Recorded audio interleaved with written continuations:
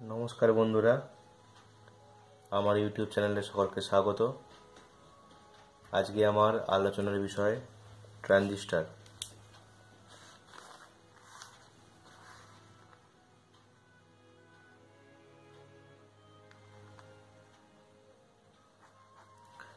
ট্রানজিস্টারের সংজ্ঞা।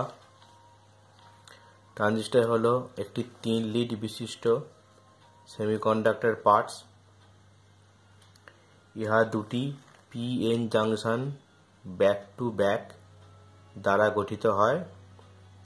এর তিনটি লিডের নাম হল বেস কালেক্টর ও এমিটার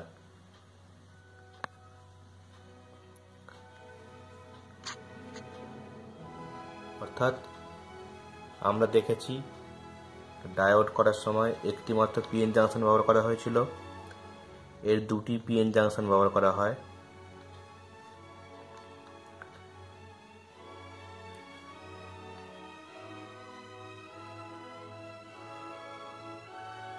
দুটি P N junction back to back মানে পরপর তৈরি। এটাকে বিশেষ পদ্ধতিতে জোড়া হয়। এটাকে জোড়া হলে যেটা দাঁড়ায় সেটা হচ্ছে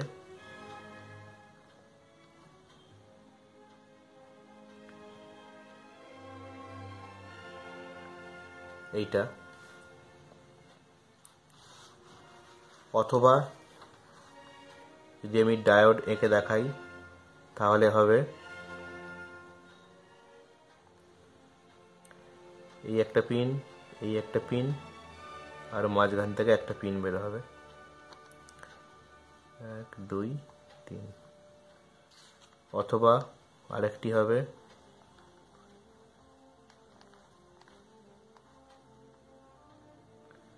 একটি পিন এই একটি পিন মাঝখান থেকে একটি পিন বের হবে। এক, দুই, তিন।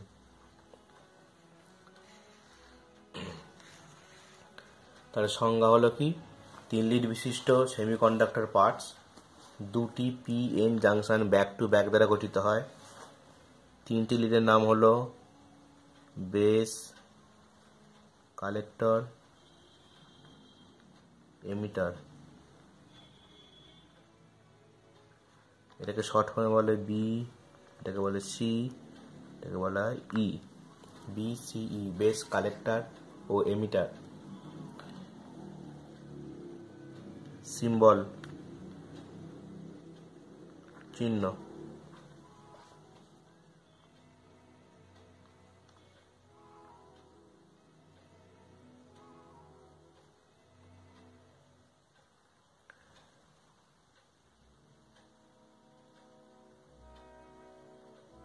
এটা হলো বি সি ই এটা হলো বি এটা সি এটা ই, দুটো চিহ্ন, দু রকম চিহ্ন, একটি চিহ্ন বাইরের দিকে, একটি চিহ্ন ভেতর দিকে। পরে আমি বলছি কারণ, কাজ।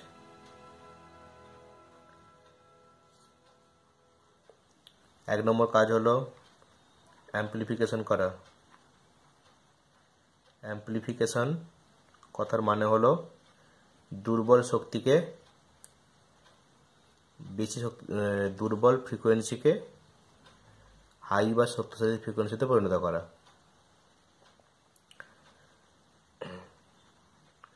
দুর্বল সিগন্যালকে শক্তিশালী করা। দু নম্বর কাজ হলো সুইচিং করা এইচ ডাব্লিউ সুইচিং করা। এর বাংলা মানে বোঝায় অন, অফ করা। সুইচ যেমন কাজ, সুইচের যেমন কাজ অন অফ করা, ঠিক তেমন এর কাজ হচ্ছে সুইচিং করা বা অন অফ করা। তিন নম্বর হচ্ছে নতুন ফ্রিকোয়েন্সি তৈরি করা। চার নম্বর হচ্ছে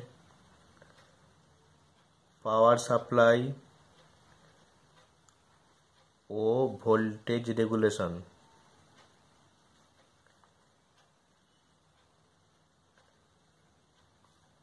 রেগুলেশনের কাজে ব্যবহার করা হয়।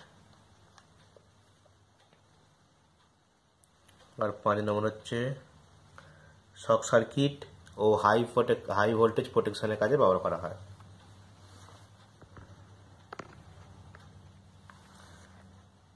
হাই ভোল্ট প্রোটেকশন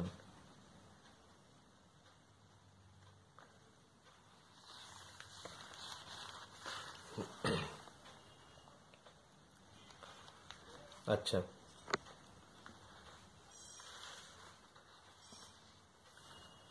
প্রকারভেদ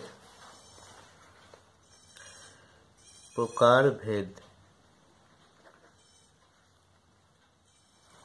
ট্রানজিস্টার দু প্রকারে হয়। একটা পিএনপি একটা এনপিএন পিএনপি আর এনপিএন এখানে দুটো যে ছবি আঁকা হয়েছে, তার জন্য আঁকা হয়েছে। বাইরের দিকে যে তীর চিহ্ন থাকবে, সেইটা হবে এনপিএন ট্রানজিস্টার। ভিতরের দিকে যে চিহ্ন থাকবে, তীর চিহ্নটি, সেটা হবে পিএনপি ট্রানজিস্টার। তাহলে এটা আমি লিখতে পারি এনপিএন ট্রানজিস্টার। পিএনপি ট্রানজিস্টার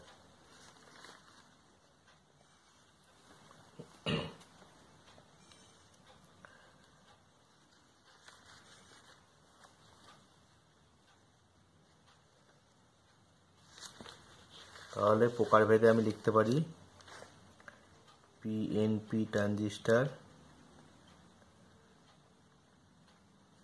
এর বিশেষত্ব হচ্ছে positive negative positive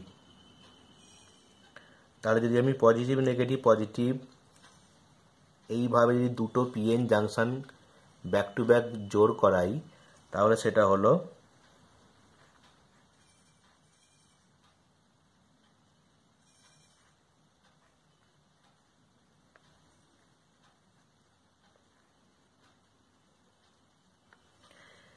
positive negative positive অর্থাৎ যখন আমরা ডায়োড শিখেছিলাম, তখন বলা হয়েছিল, একটি ডায়োড কখন কাজ করবে? একটি ডায়োডের অ্যানোডে পজিটিভ এবং ক্যাথোডে নেগেটিভ পেলে ডায়োডটি কাজ করবে।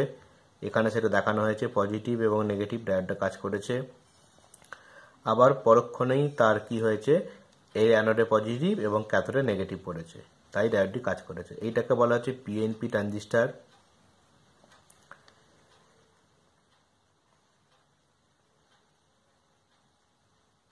এর চিহ্ন হবে এইটা।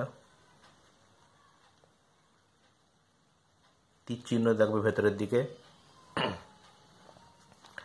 একটা হচ্ছে N P N N P এনে যদি ছবি আঁকি, তাহলে কি হবে?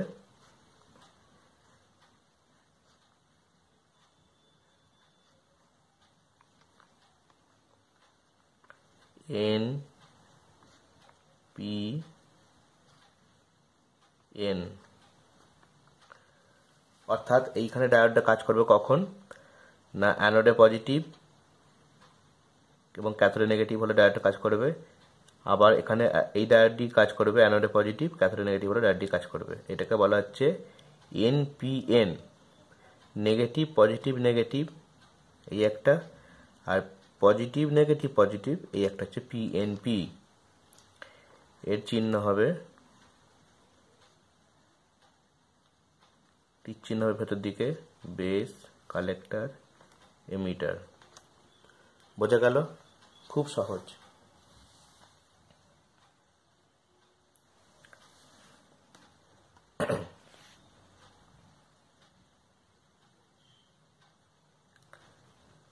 আর একটা প্রকারভেদ হয়। সেটা হচ্ছে D type D type transistor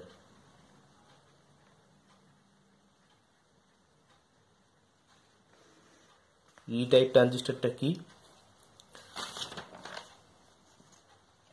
না ডি টাইপ ট্রানজিস্টরটা হলো এক প্রকার ট্রানজিস্টার যার বেস ও এমিটারের মধ্যে রেজিস্ট্যান্স থাকে।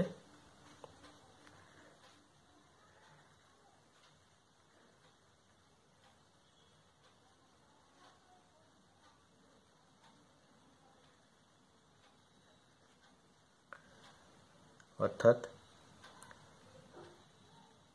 কালেক্টর আর এমিটারের মধ্যে একটি ডায়োড থাকে। এবং বেস আর এমিটারের মধ্যে একটি রেজিস্ট্যান্স থাকে।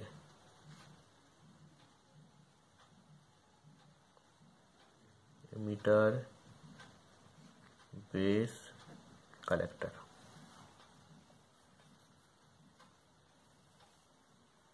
এটাকে বলা হচ্ছে ডি টাইপ ট্রানজিস্টার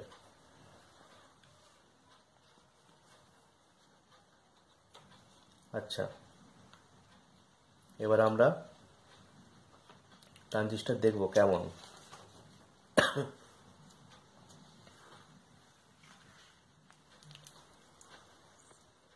এগুলোকে বলা হচ্ছে ট্রানজিস্টার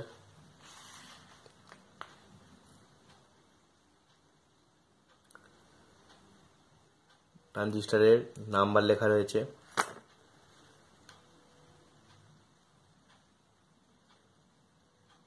এফ চারশো তেইশ।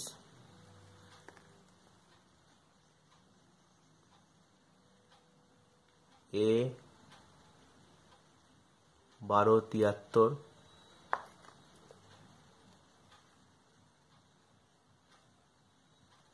এফ চারশো বাইশ। বিডি একশো ছত্রিশ বি সাতশো চৌষট্টি ডি ষোলো একান্ন